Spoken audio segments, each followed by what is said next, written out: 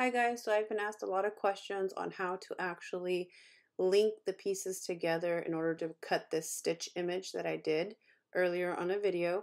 So this is the mightymama.com where I got the free SVG file. So you're going to actually right click the image and you're going to hit save as and then that's where you're going to save the image. You can save it on your desktop, you can save it wherever you want. I already have the image saved, so I'm not going to save it again.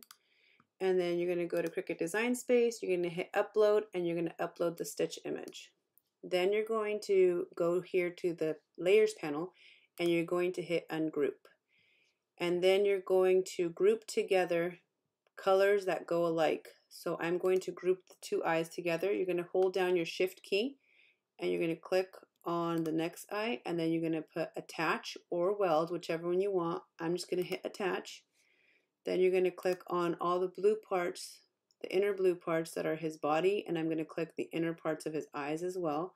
So I'm going to hold down the shift key again, click on those two parts and hit attach.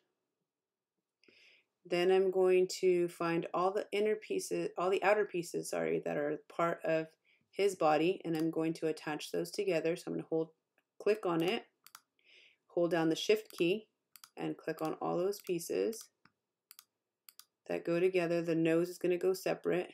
Here's another piece down here. And let's make sure there's no more. Then we're going to hit attach. That attached all the pieces.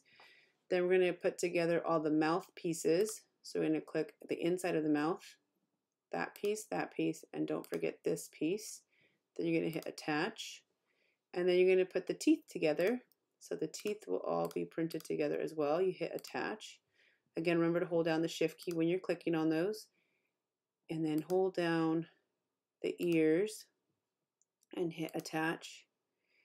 And let's say you accidentally grab something. I'm going to show you how you do that real quick. Let's say you accidentally grab the nose and the eye and you hit attach. Do you see how it made that eye blue?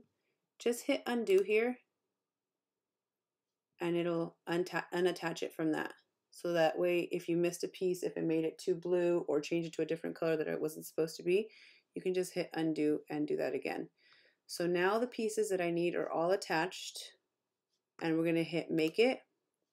And as you can see, when we hit make it, the eyes are placed exactly where they need to be placed. Some people don't like to waste the vinyl, but honestly, it's the best idea because you can put these pieces exactly where they need to be. So here's the white layer, then here's the black layer. Here are the teeth, then the mouth, the eyes, sorry, and the body, the outer body, and you have the nose on its own, the ears, and they're placed exactly where they need to be placed.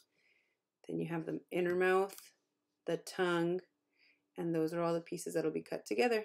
If you have any questions, please feel free to let me go know. Again, this is part one, I guess, of the beginning part on how to layer and place a multiple layered vinyl decal. Please let me know if you have any questions. Thank you for watching. Bye-bye.